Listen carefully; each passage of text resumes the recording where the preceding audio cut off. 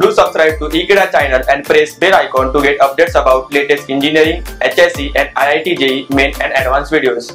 We'll be uh, going further further into this chapter and see uh, what is the principle involved in the working of centrifugal pumps. We'll see the sketches of it. We'll see uh, the different components and how it works.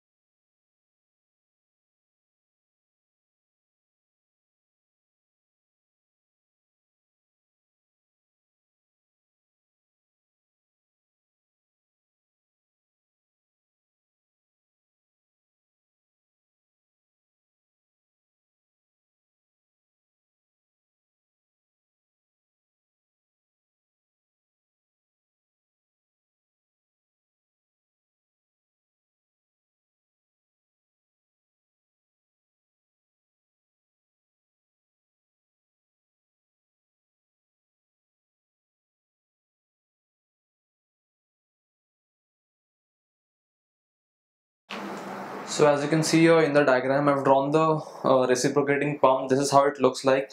So uh, this, as you can see, this uh, black part that I've drawn, that is a cylinder.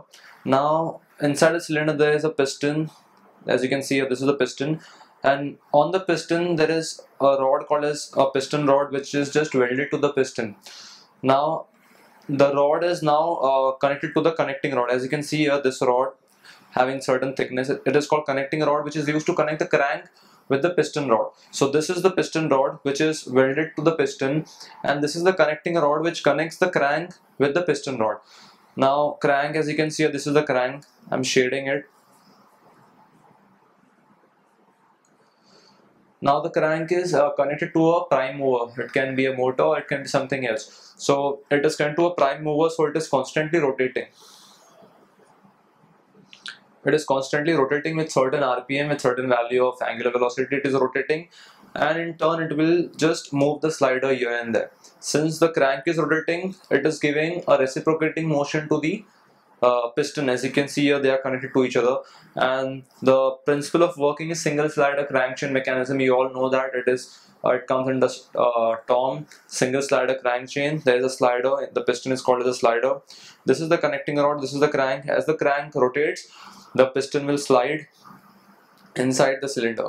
Now I forgot to draw the two valves. I'll draw it now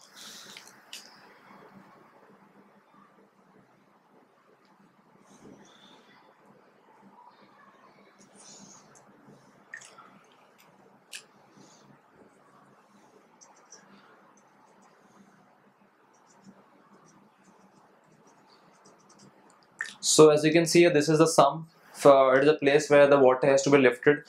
And this part is nothing but the suction pipe the head uh, through which the water has to be lifted into the pump. So this hs as you can see it is a distance between the sump and the center of the reciprocating pump. It is called a suction head which means that is the head through which it is it has to be lifted for the water to go into the pump. And this uh, hd is nothing but the delivery head which is the head that has the water has to uh, gain so that it goes from the pump into the delivery end. So hs and hd are very important terms uh, when it comes to reciprocating pumps. Uh, now these are the two valves as you can see here things. These are two valves the suction valve and this is the delivery valve. They are one uh, they are they allow flow only in one direction. They are unidirectional valves so when the piston is moving uh, when the, when the piston is sucking water from the sump the inlet valve becomes it opens. That is a suction uh, suction at the suction end the inlet valve opens and the delivery valve closes because you don't want uh, delivery valve to be open when the suction is happening. So when there is suction then when the piston is going towards right the inlet valve will be opened and the delivery valve will be closed so once the suction stroke is over once the water starts getting compressed this inlet valve be, will be closed and the delivery valve will be open and the water will be discharged at this end. So this is how it works. As you can see here uh, the crank will generate a circle. So when the crank is at A the piston will be uh, at the left extreme left of the cylinder and as the piston starts moving from A to C the piston will start moving from extreme left to extreme right. The piston will start moving here. And at the same time it will suck water. And how it sucks water is because when you uh, there's a vacuum created and the water is at the atmospheric pressure. And since the vacuum is created uh, the water moves into the pump because of the pressure difference and it gets sucked. And this will happen till the crank reaches point C so till the crank reaches point C the piston will come to extreme right and by that time it will suck a lot of water and it will be equal to the volume that the piston will displace. So the, the volume of water that will be sucked, sucked will be equal to the volume of the piston displaced.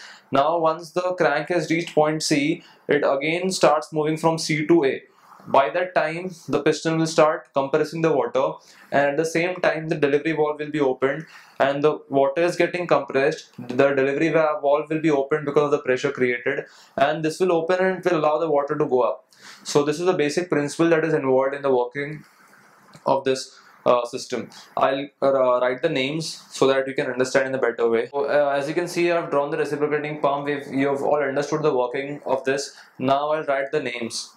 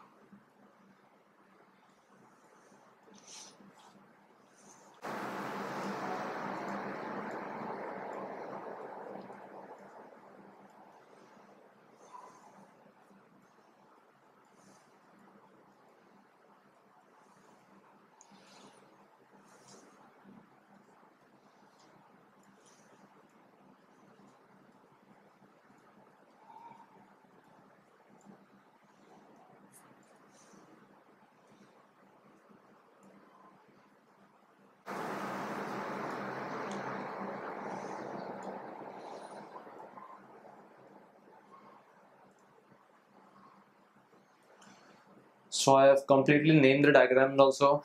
So the delivery valve that is at the delivery pipe the suction valve that is just at the entrance uh, just as the water enters into the uh, cylinder there is a valve suction valve.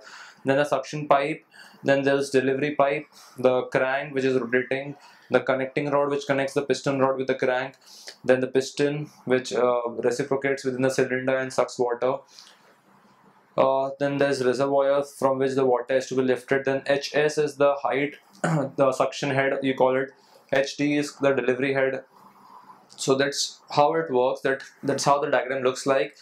Now uh, we've seen the working how it works also. So we've seen different parts. So that was all about this uh, the diagram and the principle of working of this uh, centrifugal I mean the reciprocating pump so I hope you have understood the working principle the components and different terms involved in this. Thank you